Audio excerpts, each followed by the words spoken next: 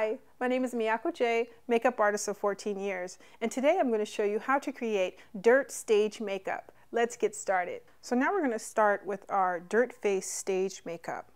And what I'm doing is actually taking this really nice brown, and I'm taking my kabuki brush, and I'm just going to lightly buff into her skin and giving her that dirt face look.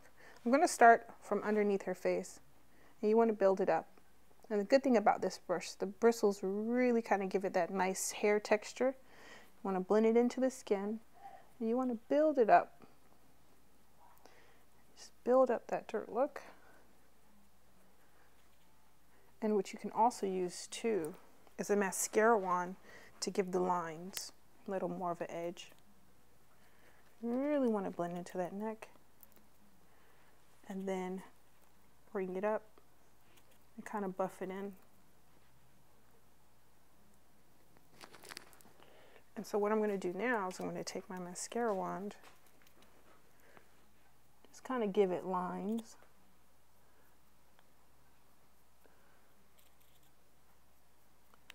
Bring it up to the face. Same thing on the opposite side.